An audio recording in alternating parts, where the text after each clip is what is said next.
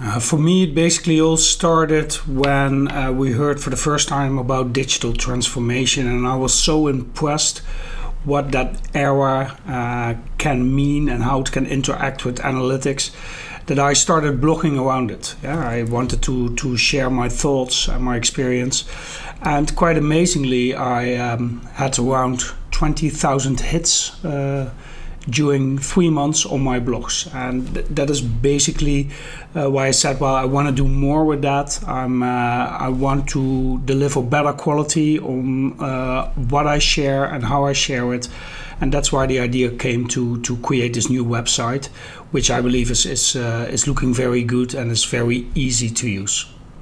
Well, for me, digital transformation cannot exist uh, without proper analytics. And uh, just uh, read a few of my blogs, and you will see why I think that's the case.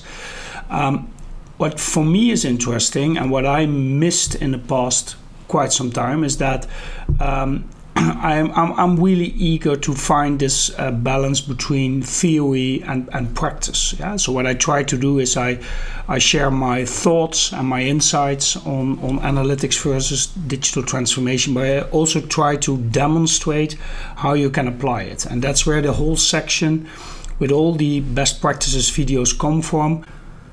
What I try to do is uh, write a blog. I do it in my own time. Um, I write, uh, try to write a blog every let's say two to three weeks. Um, I share it on my website, and of course, I share it on the on these social media um, channels that I'm active on, uh, being LinkedIn, whether it's Twitter, uh, sometimes also my Facebook channel. Um, so that's the frequency that I'm trying to to create something. The videos that I create are at a monthly schedule, I will say. So subscribe to the channel and, and, and watch the website, and then you don't miss anything.